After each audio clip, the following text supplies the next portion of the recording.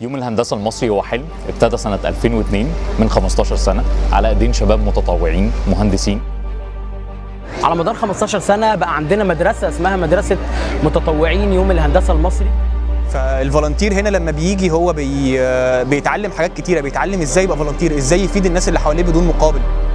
التطوع ده خلانا نبني بنك أفكار كبير جدا وبقى عندنا خبرة طويلة جدا بإزاي ننظم حدث بهذا الحجم وبهذا الكم الهائل من المسؤوليات اللي عندنا. يوم الهندسة المصري life changing experience بتغير حياة كل حد بيخشها سواء عارض أو زائر أو متطوع حياته بتغير يوم ما يدخل يوم الهندسة المصري. فاحنا كان دورنا ان إحنا نحاول نساعد الشباب دول ونقول لأ ناخد مشاريع التخرج دي نعرضها للمجتمع اللي إحنا فيه نعرضها لرجال اعمال نعرضها للحكومة اي حد ممكن يستفيد منه.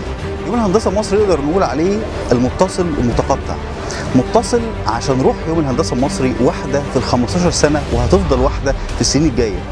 متقطع عشان كل سنة بيكون لجنة لجنة منظمة ليوم الهندسة المصري مختلفة ليها طابع مميز تختلف عن السنة اللي قبليها. لو هشبه يوم الهندسة المصري هشبهه بمكنة كبيرة. التروس الأساسية اللي فيه هي المتطوعين اللي اشتغلوا 15 سنة لحد دلوقتي عشان يطلعوا اليوم اللي إحنا شايفينه النهارده. آه، يوم الهندسة المصري حلم وتحول لتجربة حياة وأنا أعتقد إن هو مستقبل مشرق لمصر والبلد اللي إحنا فيها دي. الهندسة المصري دوت عبارة عن زي ما بنقول قمة الهرم.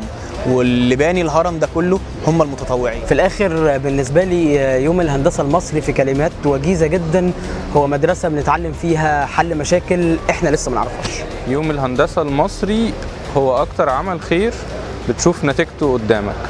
عشان كده كلنا كمتطوعين بنشارك دايما ونحافظ على تواجدنا السنوي في يوم الهندسة المصري.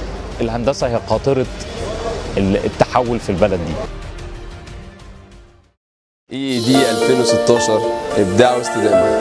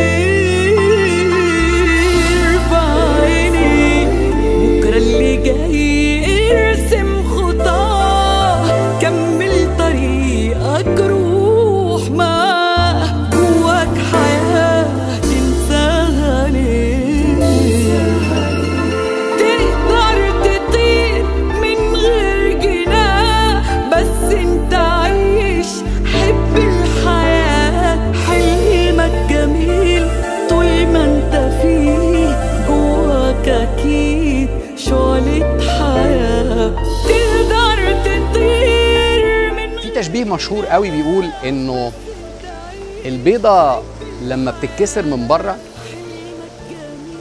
الكتكوت بيموت. البيضة لما بتتكسر من جوه معناتها إن في كتكوت سيأتي إلى الحياة في حياة ستخلق.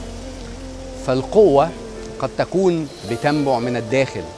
فعايز كل واحد فيكم يبص جواه عايز كل واحد فيكم يطلع من الداخل الطاقة التي بداخله والأفكار الإبداعية التي في داخله.